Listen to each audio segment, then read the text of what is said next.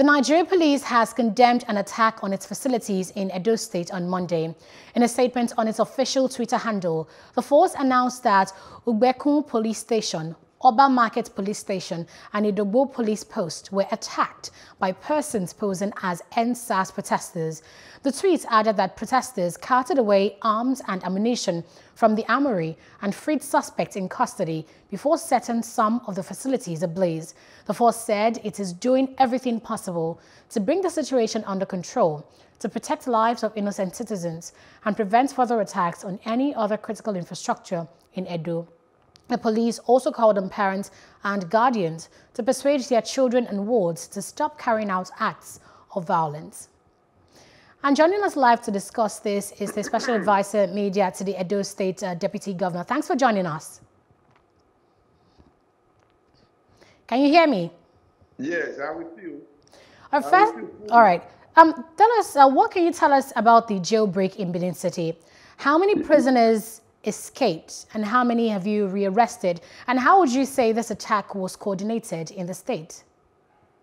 Uh, it's um, rather unfortunate that the hoodlums have hijacked uh, the peaceful protest embarked upon by uh, the uh, EndSARS uh, uh, organizers. They allow the hoodlums to hijack it from them. They set up these three police stations, like rightly said, and then the minim, uh, the medium correctional center on Sapele Road was equally attacked. Some inmates have been freed, but as I speak, we cannot say exactly how many of them have escaped and how many uh, that have been uh, rearrested, because I believe it's rather too early to assess that. But government officials and the security agencies are working around the clock to make sure the situation is brought under control. But I believe by this time tomorrow, we'll be able to place a figure on how many have escaped and those who have on their own returned to the facility or have been rearrested. Like I said, as I speak, we cannot specific on that. Now, if I mean, the trend on social media and the concern of many Nigerians is uh, about the irony, so to speak, of how a center, you know, that is meant to, you know, protect people came under such an attack. What would you say is, is responsible uh, for this, and how do you think this uh, this happened?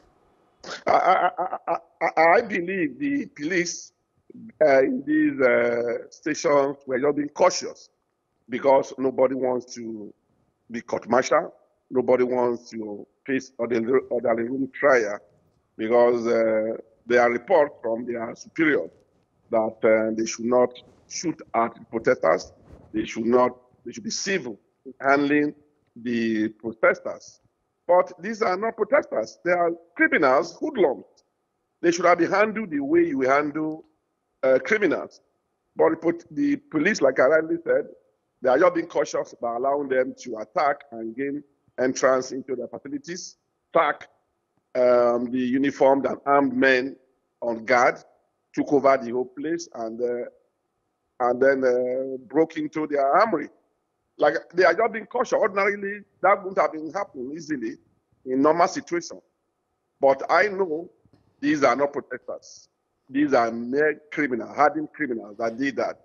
Apparently, with the aim of freeing their own uh, their own uh, co-criminals who have been arrested and kept in these facilities pending when they appear in court. All right, now the Edo State government, uh, uh, sorry to cut in, but the government has, has now announced a 24-hour curfew, you know, after this attack. Do you think this curfew is feasible?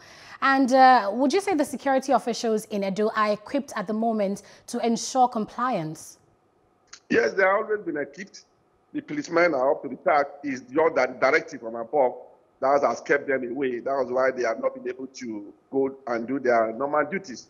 Before now, they abandoned the entire streets. They, they kept to their station. None of them, you see, none of them on normal roadblocks. I can't see any policeman uniform anywhere out of fear for their lives. And then they, they, they, directed by the, their, their superior. But the way it is now, it, it has gone beyond the normal protest. The, the curfew is taking place. If you go to the street right now, the streets are virtually empty. You see policemen out there trying to enforce it. And I know that the protesters, the normal protesters, will not risk it and confront uh, armed uh, policemen. But it's just the criminals who want to confront them because they are up to something. It's just what they, they are doing is beyond the normal protest. But I believe everything uh, is coming to normalcy with the government's uh, directive. And uh, jailbreaks have seemed to become quite frequent in the country. What steps would you say the force take to prevent a recurrence in future? Yeah, uh, it's the same thing the protesters, part of the demands of the protesters, that uh, our armed men, especially the policemen, uh, the, uh, the um, those uh, manning these uh, correctional facilities, they are not taken care of. There, there, there, there is no proper care for them. Out of frustration, a man who is armed expect to guard these facilities. We see normal jailbreak, they will look the other way. Because it has been on. This is not the first time. They are superiors. The money budgeted for these facilities and the care of this man are, are being uh, appropriated by the officers, by their superior.